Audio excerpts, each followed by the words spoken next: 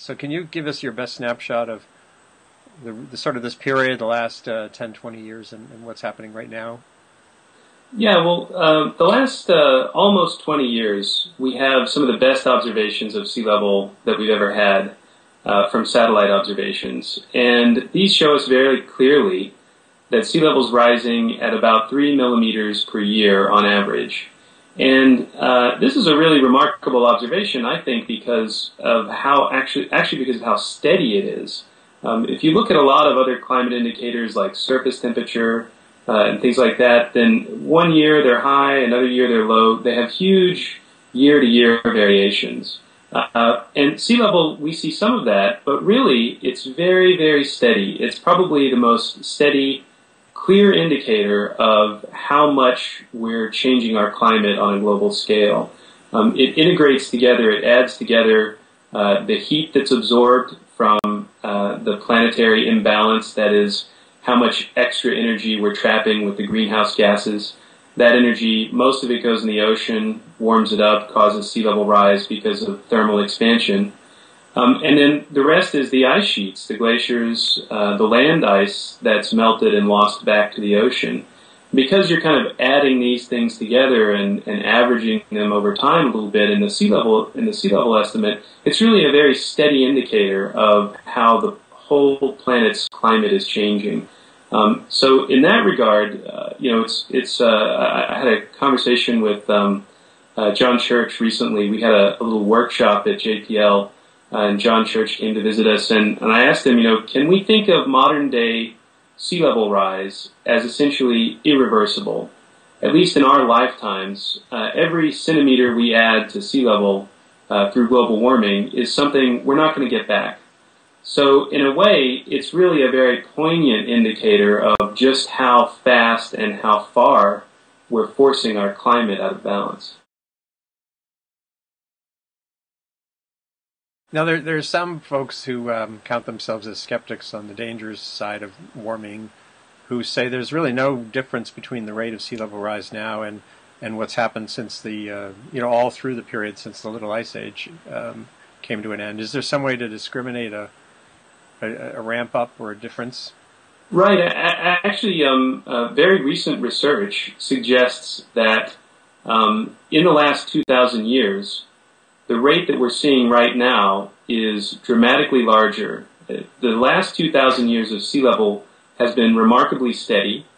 Uh, and then at the very end of the record, you see this uh, huge increase in the rate of sea level rise. So we are just now beginning to put together what you might call a sea level hockey stick, uh, much like the infamous or famous uh, hockey stick for global surface temperature. And as we look back over the last two, three thousand years, we really see a very steady, very stable picture of global sea level. Uh, and that's in stark contrast to what's happening right now. Uh, there was a paper by, um, I can't remember the, the, um, the reference offhand, but this was just in the last couple of months. Yeah. Uh, and they know this from looking at uh, salt marsh data. Essentially, they find a salt marsh in a place where, for instance, since the land is uh, sinking very rapidly because of processes that happened at the end of the last ice age. Oh, I remember that paper. Right. Yeah. Right, and then uh, and then they they can map how the rate of sea levels changed over the last couple thousand years. When they look at it, you you see this this hockey stick effectively. It's kind of interesting to me how some the work that relates to sea level extends from ice sheets to coral reefs. And the paleo work often is looking at coral reef uh, patterns over time. And uh, there was there was work both in Florida and then more recently more in the Caribbean that seemed to start to um, nail down some interesting, actually really dramatic changes in sea level.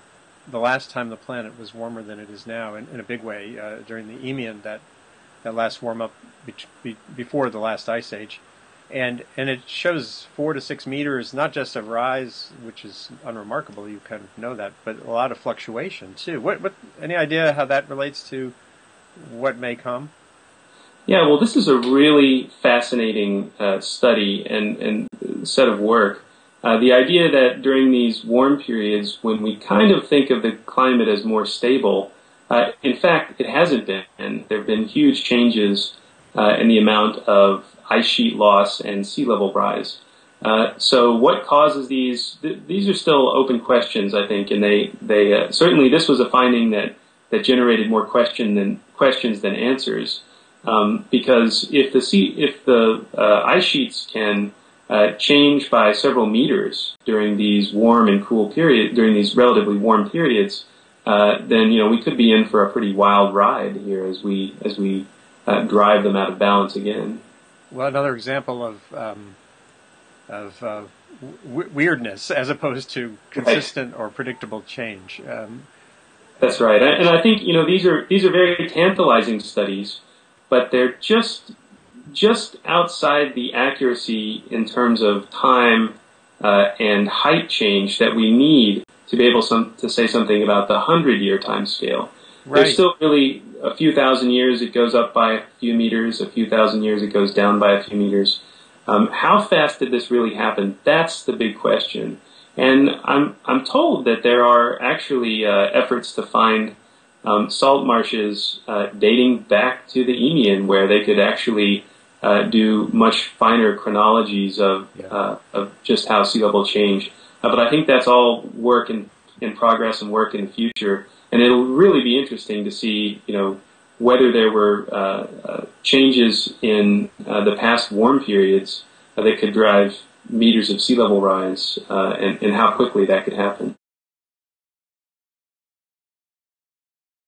you know, one one other message from that work is that the, the overall rate on the multi thousand year time scale is is not one of these uber catastrophes. It's kind of a meter a century or so.